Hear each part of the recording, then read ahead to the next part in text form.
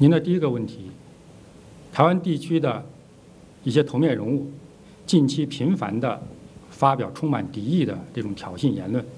不断的煽动两岸的敌意，升高两岸对抗，恶化两岸关系。为了捞取一点可怜的选举的私利，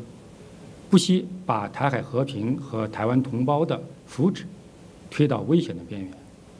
正如岛内的舆论批评的那样，他们的所所作所为，犹如盲人骑瞎马，夜半临深池。这也进一步的证明了，民党当局是两岸冲突的制造者，台海和平稳定的破坏者，和台湾人民利益的损害者。我们愿意以最大的诚意，尽最大的努力，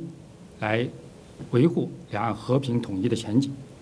同时我们也有坚定的意志、充分的信心和足够的能力，来挫败任何形式的台独分裂图谋和行径，捍卫国家的主权和领土完整。